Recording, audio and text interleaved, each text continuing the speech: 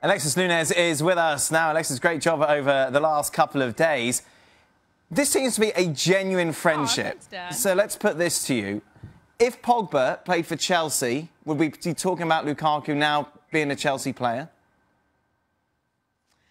Um, that's an interesting question because, like you said, I do believe that their friendship is absolutely genuine. That they get along. I mean, they're vacation buddies. They get along very well. They've known each other very well. The way they speak about each other, as he was saying, that they just knew that when they met, one day they would play together. They didn't know how, they didn't know where, but they just knew that one day they would play together. But the way that Lukaku spoke about Manchester United, the respect he has for the history of it, even though understanding that now they aren't the Manchester United that we were used to under Sir Alex Ferguson, but he still has so much respect for the club that I think he had his mind made up regardless of where Pogba was. Uh, shall we talk about the pool incident? Then, Miss Nunes, uh, was it set up? That's what everyone's been asking. Did you know it was going to happen?